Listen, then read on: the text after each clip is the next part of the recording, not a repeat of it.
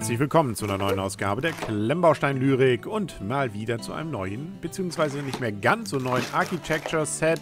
Das, was wir hier nämlich sehen, ist der schiefe Turm von Pisa und äh, da ist es natürlich besonders spannend, wie kriegt man es als Lego-Designer hin, dass das dann wirklich schief ist und äh, dann aber trotzdem nicht umfällt. Das werden wir uns dann gleich genauer angucken. Das ganze Modell hat übrigens 345 Teile, kostet knapp 35 Euro, ist auch weiterhin erhältlich obwohl schon, naja schon, die Zeit ist ja noch gar nicht so lang vergangen, 2013 erst Ganze erschienen ist. Da sahen wir auch schon viele weiße Steine, viele kleine weiße Steine, die darauf harren, zusammengesteckt zu werden innerhalb von, naja, so ungefähr einer Dreiviertelstunde, Stunde. Dann ist man auf jeden Fall damit fertig. Und wenn es denn dann schief sein soll, dann soll es auch schief sein. So schief steht er dann da mit viel, viel Weiß. Insbesondere vielen weißen runden Steinchen, die dann jede einzelne Etage für sich entsprechend bilden. Wir werden das gleich auch nochmal im Vergleich zum Original sehen. Es gibt tatsächlich, und so soll es bei Architecture ja auch sein, eine Menge Parallelen. Im Original ist die Spitze übrigens 3,9 Meter abweichend äh, von der Normalposition und das bei einem Turm, der gerade mal knapp etwas über 55 Meter Höhe hat.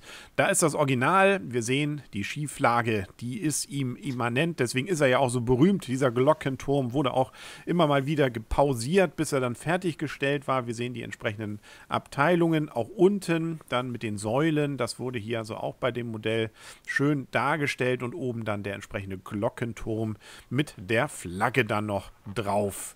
So, und jetzt sehen wir hier, da steht natürlich wieder drauf, Leaning Tower of Pisa, das ist er, also da steht da. Ähm, schön schon mal, damit man auch weiß, was es ist, aber das dürfte fast jeder wiedererkennen. Es gibt einen Sockel dazu, da erkennen wir auch schon die Schieflage und dann geht es hinauf, die einzelnen Abteilungen die im Original aber auch nicht in einem Rutsch gebaut wurden. Man hat dann zwar am 9. August 1173 angefangen, nach drei Etagen merkte man aber, das Ding neigt sich nach Südosten. Hat man 100 Jahre gewartet, dann vier weitere Stockwerke draufgesetzt, die auch schief sein sollten. Das sehen wir jetzt bei dem Modell allerdings nicht, um die Schieflage etwas auszugleichen. Dann hat man wieder unterbrochen und bis dann der Glockenturm drauf war, sind knapp 200 Jahre insgesamt vergangen. 1372 stand das Teil denn. So, und jetzt gucken wir uns mal an, wie das denn hier mit dieser Schieflage hingekriegt wurde. Dazu nehmen wir mal diese Verdeckteilchen hier ab und dann sehen wir, da ist tatsächlich ein kleines Scharnier drin. Wenn wir wollen, können wir also äh, das Ganze noch schiefer legen, um nicht zu sagen, wir können ihn sogar umlegen. Da, noch steht er und blups, da liegt er. Ja, das hatten sich die Erbauer vom Schiefenturm von Pisa wahrscheinlich auch nie gedacht. Hm? Ansonsten, ja, schönes Teil. Ja, mal wieder links gelegt. Also, wenn man mal beeindrucken will, dann legt man ihn so hin. Dann ist es wirklich ein absolut Leaning Tower of Pisa. Ja, von unten jetzt nicht wirklich eine Schönheit, aber rechts sehen wir wieder dieses Scharnier, das diese Schieflage, dadurch, dass sie eben nicht gerade ist, äh, draufliegend, dann tatsächlich auch produziert. Und das Ganze ist auch so interessant geformt, dass ja vorne sozusagen von vorne die Schieflage schon zu sehen ist. Also dadurch schon dieses Absacken, daran lag es ja, dass darunter der ähm, entsprechende Untergrund eben nicht ganz fest war. Dadurch kam es ja zu dieser Schieflage, mm, dass man das dann hier auch von der Seite wunderschön dann auch schon am Boden erkennen kann. Ja, und oben eine weiße Flagge. Ja, siehst du.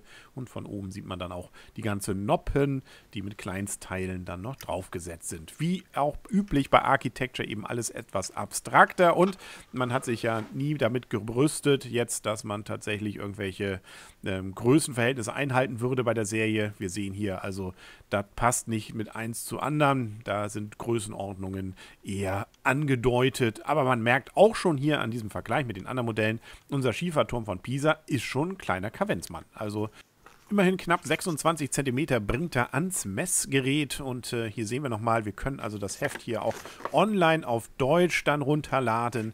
Dabei ist er nur, äh, oder die Beschreibung dann auf Englisch und auf Italienisch. Es gibt eine ganze Menge Informationen zum Hintergrund, zur Baugeschichte eben auch. Was hat sich damals der echte Architekt des Bauwerks so gedacht? Wie ist die Geschichte dann weitergegangen? Mit auch ein paar alten Fotos, wie wir hier entdecken können, bis hin auch dann zum Glockenturm. Die Glocke Glocke selber ist im Modell übrigens nicht enthalten. Es gibt ein paar Infos, dann auch die entsprechenden äh, Dinge, mit denen man dann notfalls bei Jauch auf dem Stuhl ein bisschen glänzen kann. Und das Bauen wird noch unterstützt, beziehungsweise die Motivation, dass dann wie üblich bei Architecture immer mal alle paar Seiten ein paar Infos mit enthalten sind, inklusive kleines Foto dazu. Hier sehen wir zum Beispiel gerade die Glocke, die ja, wie gesagt, nicht enthalten ist. Wir erkennen hier auch, in der Mitte ist es nicht hohl, sondern da sind zur Verstärkung wahrscheinlich vor allem auch diese Rundteile noch integriert. Das war das, was vorhin, als ich es vorführte, so leicht klackerte. Und hier sehen wir jetzt den entsprechenden Mechanismus. Wie üblich kommt dann auch nochmal der Designer zu Wort. Hier ist es mal wieder Herr Tucker, auf dem ja auch dann so ein bisschen das beruht, dass überhaupt diese Architecture-Serie bei Lego erschienen ist. Und äh, er erzählt nochmal, wie toll er eben gerade den schiefen Turm von Pisa fand. Bisschen Werbung für neue Sets. Jetzt 2015 ist ja auch das Lincoln Memorial rausgekommen. Lange Rede, kurzer Sinn. Also wieder ein schönes, äh, abstraktes Architecture-Set, das tatsächlich auch recht massiv ist. Und damit für mich zumindest mit zu den Highlights im Architecture-Bereich gehört. Deswegen gibt es von mir auch 8,5 Punkte für dieses Modell. Sehr schön und äh, geht ja preislich sogar noch mit knapp 35 Euro. Naja, gut. Das war heute die schiefste Folge der Klemmbaustein-Lyrik. Wir hören uns hoffentlich dann bald wieder und sehen uns auch und tschüss.